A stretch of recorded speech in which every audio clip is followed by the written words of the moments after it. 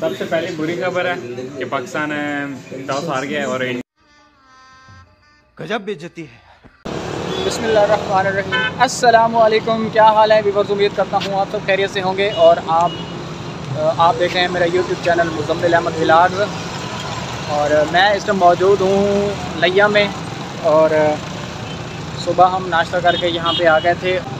और मेरे साथ मेरे दोस्त मौजूद हैं जनाब मोहसिन भाई। क्या हाल है मोहसिन भाई? अलहमदिल्ला आपने आज कैसे टाइम निकाला है आप कैसे हाथ मेरे आप हाथ आए हैं? ये फंस गया सी है। आज मैंने मोहसिन भाई को पकड़ लिया है और ये बड़ी मुश्किल से टाइम देते हैं। मैं जब गया था घर तो ये वहाँ पर मौजूद नहीं थे फिर मैं शॉप पे गया हूँ तो वहाँ पर ये अवेलेबल मिले हैं मुझे। जी नाजरीन मैं इस टाइम मौजूद हूँ लिया ग्राफिक्स पे और हम देखने आए थे यहाँ पर मैच जैसा कि जानते हैं कि आज मैच होने वाला है और इंग्लैंड और पाकिस्तान का टास हो चुका है और इंग्लैंड ने टास जीत कर बैटिंग करने की दावत दी है। अस्सलाम वालेकुम कैसे हैं भैया? खैरियत है? तबीयत से ठीक है माशाल्लाह हम इस टाइम मौजूद हैं लिया ग्राफिक्स और इस टाइम कोई क्राउड नहीं है। वहाँ पर शाहजी बैठ के ना डिज़ाइनिंग कर रहे हैं। और ये आप सोफे दे सकते हैं। जिस टाइम क्राउड आता है तो यहाँ पर सारे लोग मौजूद होते हैं और यहाँ पर एक लाइन होती है। यह सामने एलसीडी लगी हुई है। और जैसा कि आप देख सकते हैं कि मेलबर्न हम पाकिस्तान टीम में कोई तब्दीली नहीं कि। बाबर आज़म का वो चल रहा है। सबसे पहले बुरी खबर है कि पाकिस्तान टॉस हार गया और इंग्लैंड ने पाकिस्तान को पहले बैटिंग करने के मौका दिया लेकिन इंशाल्लाह पाकिस्तान के पास बॉलिंग भी है। यानी कि आपके कहने का मकसद ये है कि अगर पाकिस्तान टॉस जीत जीत जाता। तो वो उनको बैटिंग की दावत देता जो कि पाकिस्तान के लिए अच्छी साबित होती। अच्छी साबित होती। जी। लेकिन अभी फिर भी इंशाल्लाह पाकिस्तान पूरा मुकाबला करेगा जी, और इनके पास बॉलिंग अच्छी है और अच्छे रन देगा चलें। और बॉलिंग देगा अच्छी बॉलिंग देगा और इंशाल्लाह पाकिस्तान मैच जीतेगा। थैंक यू थैंक यू जी अलामा साहब आप क्या कहना चाहेंगे? पाकिस्तान जिंदाबाद।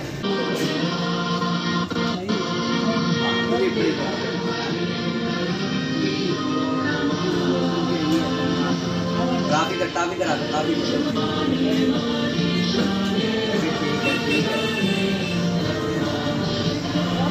आज होगा होगा हाँ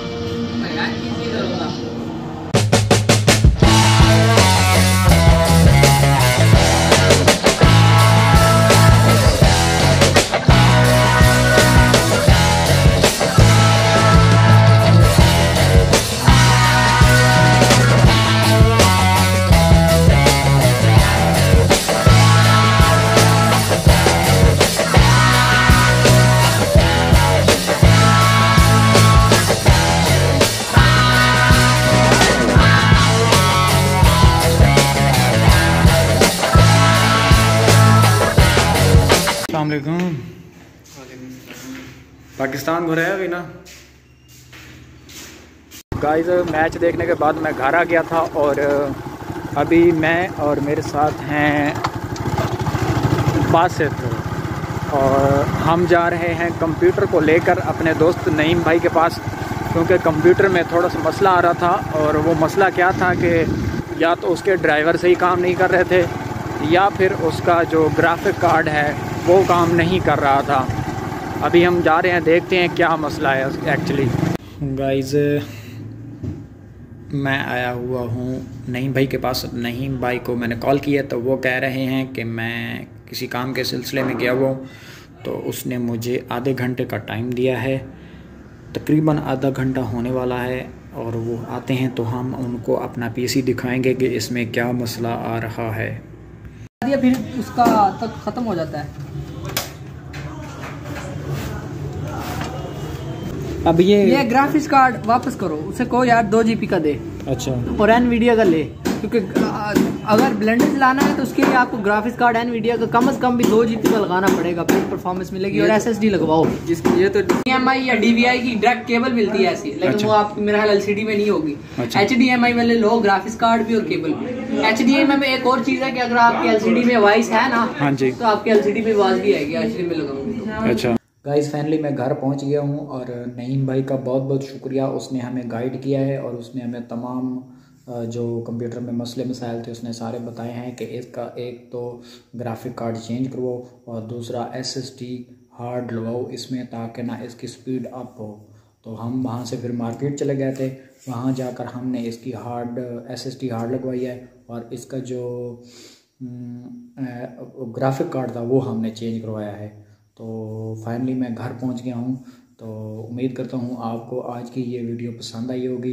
अगर आपको ये वीडियो पसंद आई है तो आपने वीडियो को लाइक, कमेंट और शेयर लाजमी करना है। अपना ढेर सारा ख्याल रखेगा। तब तक मुजम्मिल अहमद को दीजिए इजाज़त। अल्लाह हाफिज़।